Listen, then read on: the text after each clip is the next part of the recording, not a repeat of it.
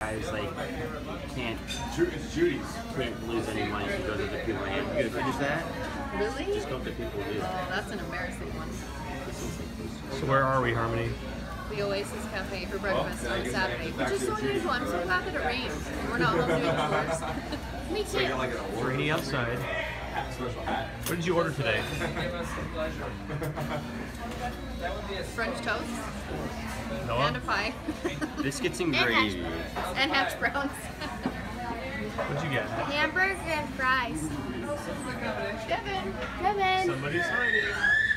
It's okay. She's hiding. What'd you order today, Hadley? Chicken strips, fries. Woke up. What do you What'd you order today, Deb? Strawberries with whipped cream. Strawberries and whipped cream. Healthy. I'm eating for two. Me and Devin. And what'd you get? chicken ten, chicken oh, strips. Ooh, Chicken tenders. pie. Have you ever had chicken tenders? yes. They're so good. Harmony saw a waitress and she attacked the waitress and stole the pie from her. Graham cracker crust. How much? Well, she said it was the last one. If we didn't get it now, we'd be out of luck.